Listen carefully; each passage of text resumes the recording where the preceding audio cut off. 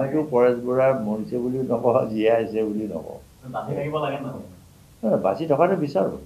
মাৰি মৰাটো আমি কাৰো নিবিচাৰোঁ এইটো নহয় যে পৰেশ বৰা মৰিব লাগে। হে অঁ আমি পৰেশ বৰুৱাৰ সেইটোত সমৰ্থন নকৰোঁ। কি কয়?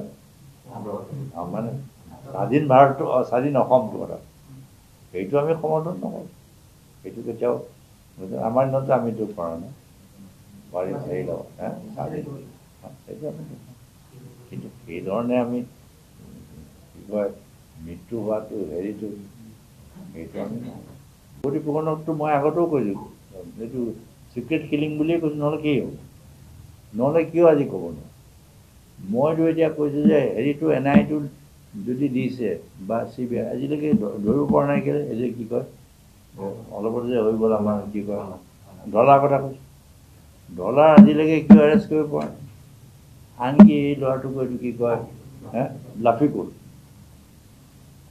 বোলে আমুকৰ হেৰিটো বোলে ছাছপেক্ট আমুক বোলে আমুক কৰিছোঁ তামুক কৰিছোঁ আমুকে তাৰতো আজি পৰা নাই। লাফিকুলো নোৱাৰে ৰেৱতী ফুকনো নোৱাৰে।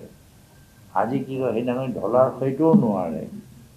এই চৰকাৰে কি পালে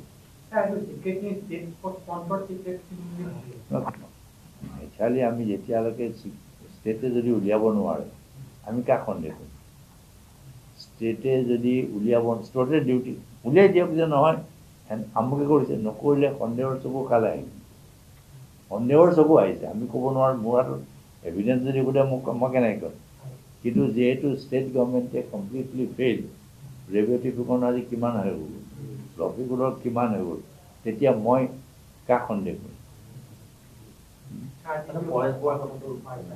পৰেশ বৰুৱাৰ কথাটো সকলোৱে কৰিব পাৰে।